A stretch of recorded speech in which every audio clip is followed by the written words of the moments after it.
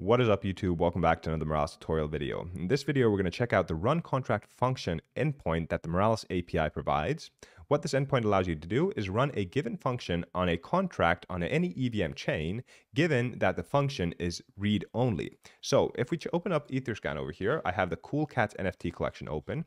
And if you jump over to the contract tab, you see we have a read contract and write contract. The write contract requires you to connect to Web3 as you'll have to send Ethereum because you'll be changing the state of the smart contract and in essence the blockchain. But for read contract, you don't have to provide Ethereum as you're only reading data from the smart contract, and that's why Moralis can provide this API endpoint. For example, here you can get the price, so the mint price of the NFTs when they were launched. You can get the token URI if you provide a token ID.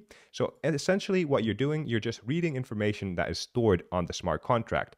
And what this run contract function endpoint allows you to do is essentially exactly this that Etherscan read contract tab allows you to do. So if you're excited for this, stay stuck in and I'll show you how to do this. Hey, I'm Jay, your Moralis instructor from beautiful Finland.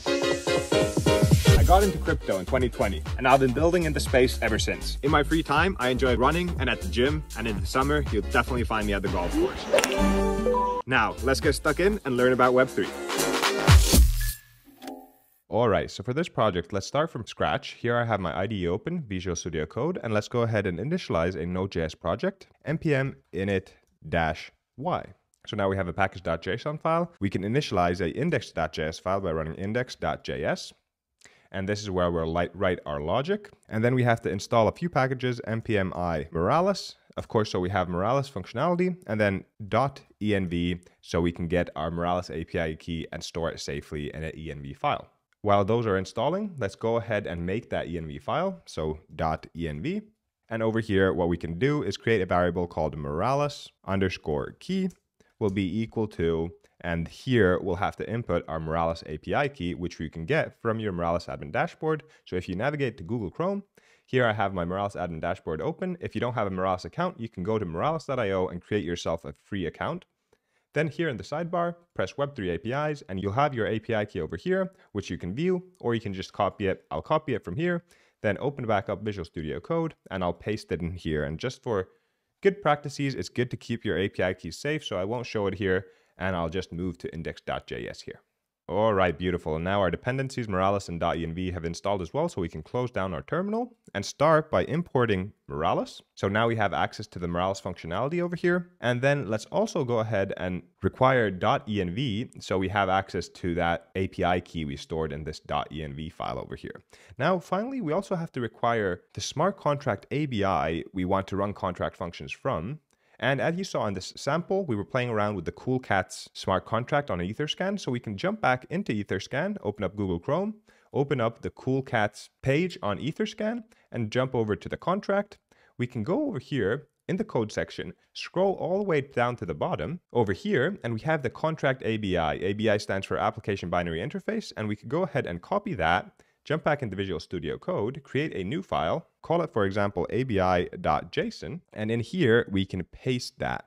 And by pressing Shift Option F on Mac, you can format it very nicely, like so. Save that, and we can, for example, search, command find, get price. So here, for example, you see the details that the smart contract has for getting price. It takes no inputs, it's a function, and its state mutability is view. So it's a read-only function we can actually call using Moralis. And as the output, it gives us a uint 256, which is the minting price for these NFTs. And there's all these other functions as well, get approved, giveaway, etc., etc. But for now, let's focus on the get price function and we'll make our first call to that so we can see if we can get the mint price programmatically using Moralis. So jump back into index.js. Now we can require this ABI file we just created like so. So now we have the ABI variable, which has the application binary interface stored within it. Now let's go ahead and initialize Moralis. We can do that by running moralis.start and then you'll have to provide the API key we stored in the environment variables. So run process.env and then the variable name, and we gave it the name Moralis underscore key. So this just makes sure that Moralis knows which account is using Moralis functionality. And then after Moralis is initialized, we can create a asynchronous function like so, where we can use the Moralis EVM API util section to run a contract function. And whatever we get back from the API will store in this response variable. So response will be equal to await Moralis dot EVM API dot utils dot run contract function. And now what parameters the run contract function endpoint takes, you have to provide at least a contract address. That's a requirement, address. And for that, we can go back into Google Chrome. Here we have the Cool Cats NFT collection, and we have the contract over here. So we copy that address and paste that as the address over here for the parameters. Then we want to define the function name from the ABI that we want to call and we just checked out that there was a get price function. We can try other ones later. And then we have to, of course, define the ABI. So like so, we brought in the ABI at the start over here. And that is how simple it is to do. So now if we go ahead and console log our response raw format like so. Now, if we run this index.js file, we should get the mint price for Cool Cats NFTs. Save that. So open up our terminal over here. We can go ahead and clear this then run node index.js. And look at that. We got 0.02 Ethereum. So we here we have 16 zeros. And because Ethereum, of course, has 18 decimals, that means 0.02 Ethereum was the mint price. And that is the exact same result you would get on Etherscan. If you go over and read contracts, the get price function over here gets you 0.02 Ethereum. How cool is that? But now let's, let's see if we wanted to try another one of these. So if we go scroll down the token URI, which we looked at at the start, you have to provide a parameter, token ID. And Let's provide, for example, four, query that.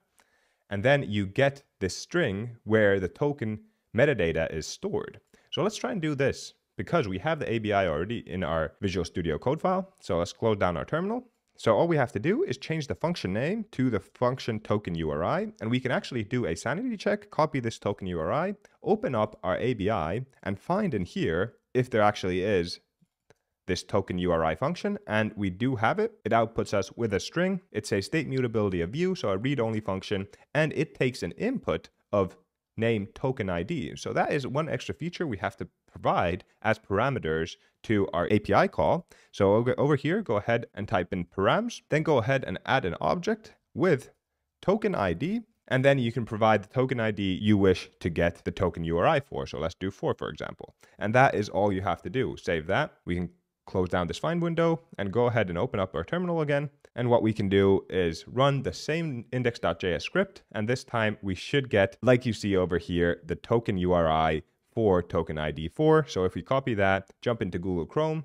we can paste that into our navigation bar over here, and this gives us the metadata for token ID 4. For example, if you want to see the image of the token, you can copy this from over here in the metadata, paste it into your navigation bar, and it gives you token ID 4 of the Cool Cats NFT collection. So that is basically all you need to know of how you can run view-only contract functions using Moralis. Of course, if you want to do it on a different chain, you just provide the chain parameter, or if you want to look at a different contract, you just provide the, the contract address over here and that contract ABI. But now let me show you some cool functionality you could do with this. For example, with the get price functionality, you got the mint price for this NFT collection. So if you go back a few steps like so, now our response is the 0.02 Ethereum as that was the mint price. But using Moralis, you can actually get the current floor for an NFT collection. And you can do that very simply if you check out the documentation using the get NFT lowest price endpoint. And all you have to provide is the address. So I'm storing this value in the res low variable and what we can do then is over here, create two variables, the floor price and the mint price, like so. So our floor price will be from the second response, the price key, and the mint price will be the response from our run contract function. And then what we can do is in our console, just log something interesting, like for example, the mint price, the current floor, and because we have these two details, we can calculate the multiplier if you're still holding an NFT from Mint, how many multiples your investment would currently stand at. So let me just console log them here over here. We can delete this last console log over here. So what we have here is the mint price. And what we're doing is we're taking the mint variable, dividing it by the 18 decimals. Then the current floor, same thing. We're taking the floor variable, dividing it by 18 decimals. And then the current multiplier since mint will be the floor price divided by the mint price. And then we just add an x to indicate it's a multiplier. Let's save this and see what result this gives. So open up our terminal once again and run node index.js. And look at that, the mint price was 0.02 Ethereum, the current floor is 1.89 Ethereum, so the current multiplier since mint is 94.5x. So if you bought a Coolcat at mint and you're still holding it, the floor price would indicate you could sell it at a 94x multiple. And that is the power of Moralis. You can run contract functions, you can get the lowest price of NFTs, and you can do cool calculations like this and this is just scratching the surface. I really hope this video was useful for you and you find cool ways to run contract functions on read-only functions from any smart contract on EVM chains. I'll catch you in the next one.